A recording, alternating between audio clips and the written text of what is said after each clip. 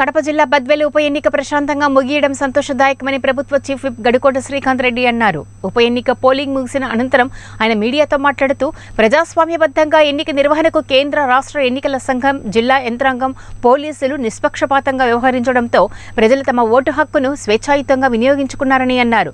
చాలా ప్రాంతాల్లో ప్రజలు ఓట్లు వేయకుండా పోలింగ్ శాతాన్ని తగ్గించాలనే దురుద్దేశంతో బీజేపీ చాలా అరాచకాలు చేయడానికి ప్రయత్నించిందని అన్నారు. గుర్తింపు కార్డు ఉన్నా ఓటు వేయకుండా అడ్డుకునేందుకు ప్రయత్నం ప్రయత్నాలతో పాటు పోలింగ్ బూతుల వద్ద ఓటర్లను బీజేపీ శ్రేణులు భయభ్రాంతులకు గురి చేశారని అన్నారు.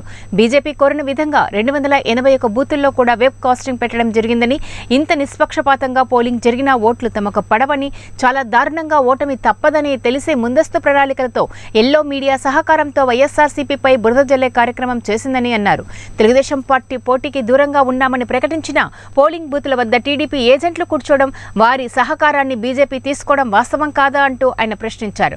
చంద్రబాబు పోటీకి దూరం అంటూనే వెన్నుపోటు రాజకీయాలు చేస్తున్నారని మండిపడ్డారు. కొన్ని బూతుల్లో టీడీపీ బీజేపీ ఏజెంట్లు కలిసి కూర్చున్నారని బీజేపీ కొన్ని చోట్ల రాజకీయాలు చేస్తుందని వారి పార్టీకి చెందిన ఏజెంట్లను పెట్టుకోలేక మాపై నిందలు వేస్తే ఎలా అంటూ బీజేపీ ప్రజాస్వామ్యబద్ధంగా ఓట్లు వేయించుకోవడం చెయ్యాలి కానీ మాపై బురద చల్లడం ఎంతవరకు సమంజసమని అన్నారు. అయినా మీకు ఏం చూసి ప్రజలు ఓటు వేస్తారో సమాధానం చెప్పగలరా అంటూ ఆయన సవాల్ విసిరారు.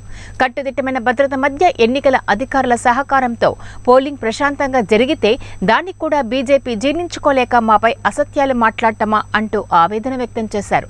ప్రజాస్వామ్యంలో ప్రజల మద్దతు కూడగట్టుకోవాలే తప్ప ఏదో జరిగిపోయిందనేలా సీన్ క్రియేట్ చేసి సుప్రీంకోర్టుకు వెళ్తామని చెప్పడం ఎంతవరకు సమర్థనీయమో వాళ్ళకు వాళ్ళు ప్రశ్నించుకోవాలని అన్నారు. బద్వేల్లో ఏం జరిగిందో తెలిసినా ఎదురుదాడి చేయడం తగదన్నారు. పబ్బం గడుపుకోవడానికి మాట్లాడడం సరికాదని అన్నారు. బలం లేని చోట ఏజెంట్లను పెట్టుకోలేక వైఎస్ఆర్సీపీ మీద ప్రభుత్వంపై నిందలు వేస్తారా?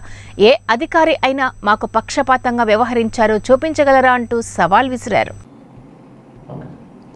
బద్వేల్ ఉప ఎన్నిక ప్రశాంతంగా ముగియడం సంతోషదాయకం.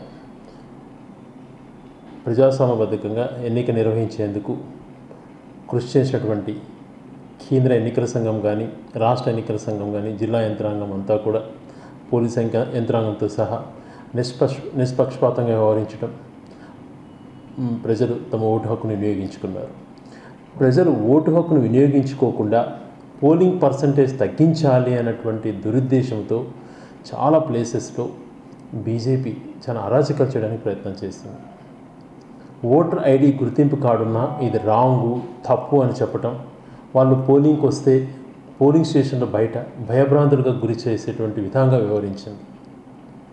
ఈరోజు బీజేపీ కోరిన విధంగా బీజేపీ నాయకత్వం కోరిన విధంగా రెండు వేల రెండు వందల ఎనభై ఒక్క బూతులలో కూడా ఎయిటీ పర్సెంట్ వాళ్ళు ఏవైతే సెన్సిటివ్ బూత్స్ అన్నారో అన్ని పోలింగ్ స్టేషన్స్లో వెబ్ క్యాస్టింగ్ పెట్టడం జరిగింది లైవ్ చేసేటువంటి పరిస్థితి.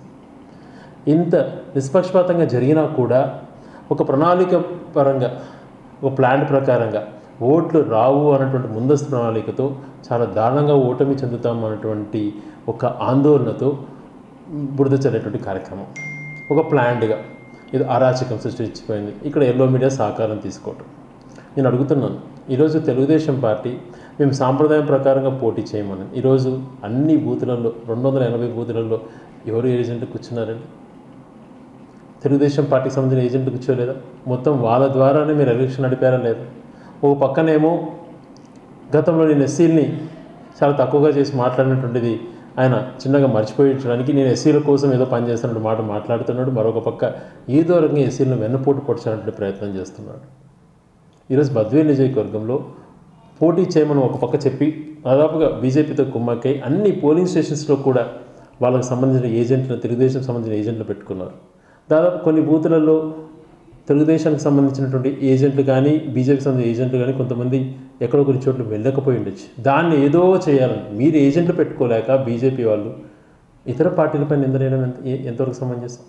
ఈరోజు మేము చెప్తున్నాం వెబ్ క్యాస్టింగ్ అనేటువంటిది ఇది ప్రతి పోలింగ్ స్టేషన్లో ఎన్నడూ లేని విధంగా సిఆర్పిఎఫ్ మీరే డిప్లాయ్ చేశారు వాళ్ళందరినీ కూడా. వాళ్ళంతా ఎంత ఎంత ఎన్ని వేల మంది బద్వేలో ఉన్నారండి? ఒక్కొక్క పోలింగ్ స్టేషన్లో ఎప్పుడన్నా చూసామా అంత భద్రత ఉన్నటువంటిది? ఇంతగా రాష్ట్ర యంత్రాంగం సహకరిస్తే మళ్ళీ బురదజరేటువంటి కార్యక్రమం ఎందుకండి? మీరు ఓట్లు తెచ్చుకోవడానికి ప్రయత్నం చేయాలి ప్రజాస్వామ్యంలో. నేను ముందు నుంచే చెప్పాను. ఏం చూసి ఓటు వేస్తారు మీకు?